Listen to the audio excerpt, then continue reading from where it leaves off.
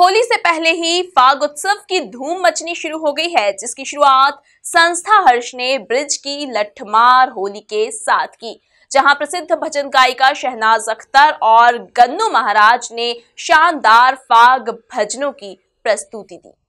देखिए इस रिपोर्ट में।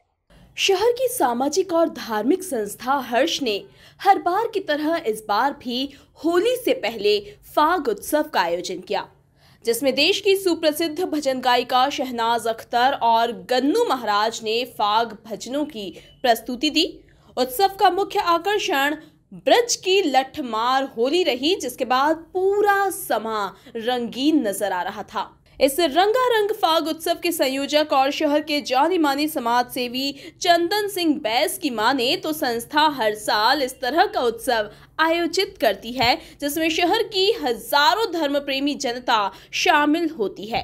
साथ ही इस आयोजन का शहरवासियों को साल भर से इंतज़ार रहता है। आज हमारे इंदौर की जो एक बहुत ही अच्छी शान है, जो पितृ पर्वत जो विराजमान है बिजासन माता के आगे, आज उसको संपूर्ण एक वर्ष हो गया है।